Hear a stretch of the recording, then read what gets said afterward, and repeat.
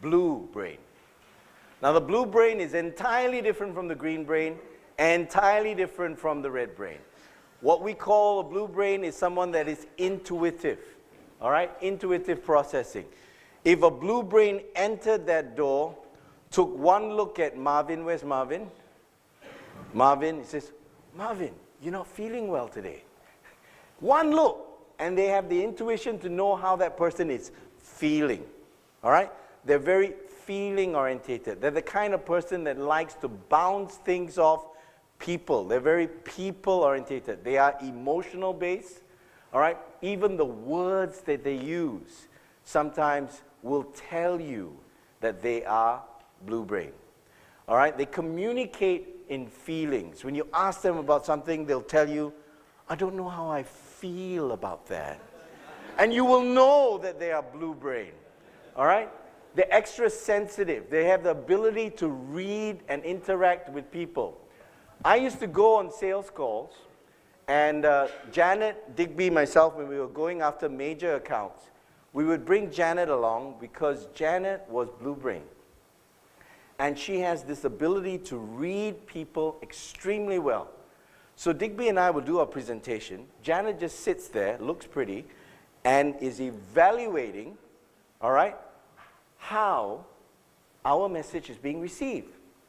And after we've done our pitch, Janet would actually give us feedback.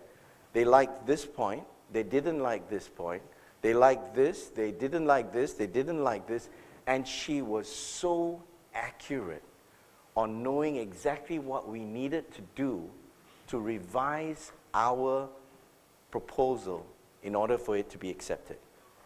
All right? Blue brain people are capable of playing many different roles. Now, when God made man and woman, He made us differently, thank God. Okay? And it is a known fact that women are better in multitasking than men. Known fact. However, if you are a blue brain man, you are just as good in multitasking as a woman.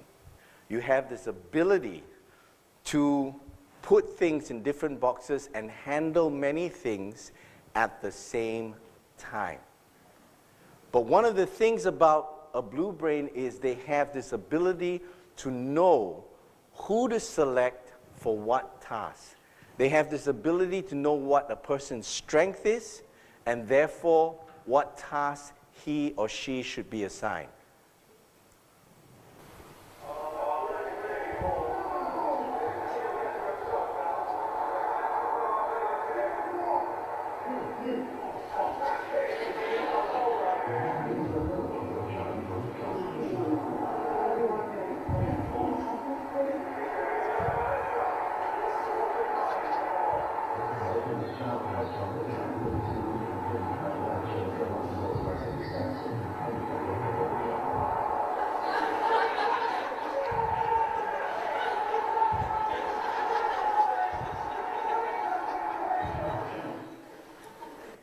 By the way, it's the coach that is the blue brain, not the child, okay?